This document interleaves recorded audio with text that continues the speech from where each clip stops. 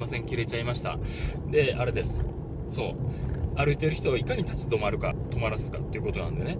だから短い言葉ですよ。短い言葉でインパクトのある言葉。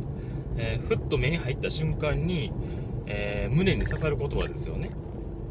ターゲットはガチガチさんなんで、ガチガチさんだけに、えー胸に響けばいいわけです。で、そこで思ったのはガチガチ専門やったんです。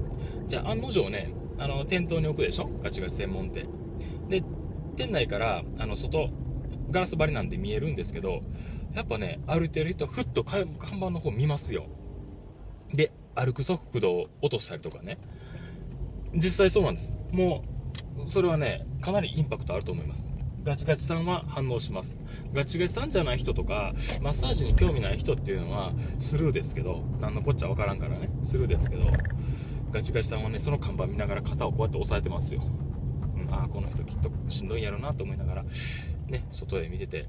で、中から顔出してね、声かけたら来てくれますしね。そんな感じなんです。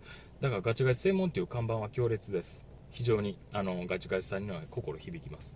だから集客っていう面では、それでクリアできました。だからテクニックがあって、テクニックがあって集客があると。うん、そうですね。あ、サロンはね、サロンが回る、経営が回るっていうのはやっぱりね、集客ができて、えー、あと、その集客できて実際中入ってきてもらってサービス受けるわけです。で、私たちは、えー施術を行うわけですけど、その施術がサービスなわけで、それでちゃんとほぐせて納得していただけたら、あとはリピートしてもらったらね、えー店は自然と回るんです。集客してもらって、サービスちゃんとできて、あとはリピートしてもらう。まあ、あとはもうその仕組み作っちゃえば、あとはもう黙ってても店って回るんですよ。だからそのガチガチ専門店は、その3つが全て揃ってます。ガチガチさんっていうのはリピート率非常に高いですよ。ガチガチ専門店がほぼないっていうのもありますし、で、あの、今までガチガチさんっていうのは行き場がなかったんですよね。病院行っても全然あれです、ダメですし、何もしてくれませんしね。こんな肩こりとかひどいこりに対してもね。他のサロン行っても、まあ聞いてんのか聞いてんのかわからんような状態やしっていうことで、そんな感じなんです。だからね、このガチガチ専門店を進める根拠っていうのはあるんですよ、ちゃんと私ね。はい、そんな感じなんです。皆さんどうでしょうか？分かっていただけましたでしょうか？はい。まあ、もっと本当はね、ベラベラ喋りたいんですけどね、ちょっとついちゃいましたね。はい。まあまあちょっと時間あるんで、もうちょっと喋ろうと思うんですけど、まあ結局ね、あのー私のとこのホモアカドを始めて、まあ最初の2、3年はね、私、えー所得はゼロ、ゼロ円です。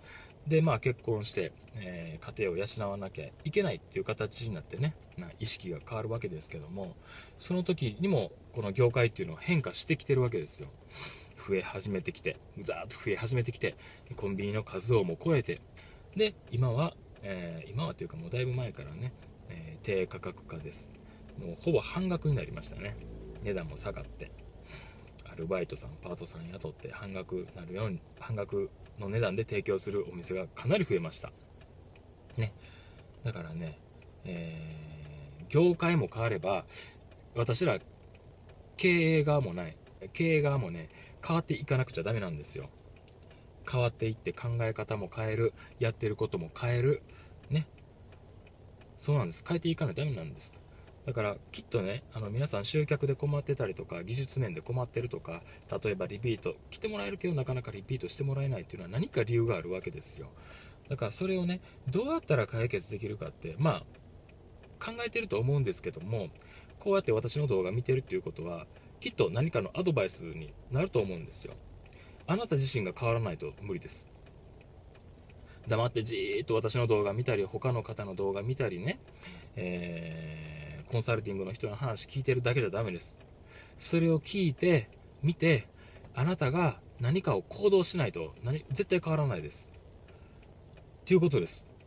頑張って行動しましょう。行動しないと、その先は変わりません。何も変わりません。これは100%言えます。絶対に。はい。で、こうやって私半年前に YouTube も始めました。で、YouTube するとさらに、ね、あのー可能性が広がるわけです。YouTube もいいですよ。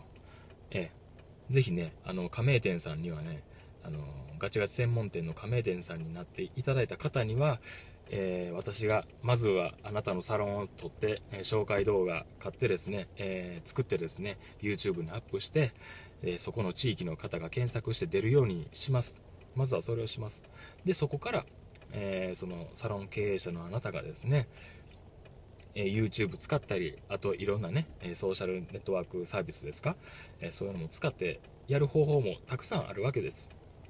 ネットっていうのはね、えやればやるほどいいですよ。うん。お金もほぼかかんないしね。こんな YouTube ただです。けど可能性はすごいです。これもやり方次第ではね、あのすごい激変しますから、皆さんぜひ、ね、セラピストの皆さん、またはこのサロンオーナーの方、皆さん頑張りましょうよ。ね、あの安売りの店なんかに負けてられません。まだまだあの可能性はありますからね。個人経営者であったとしても。頑張りましょう。希望捨てないでやるだけです。それじゃあまた私の動画見てください。ありがとうございました。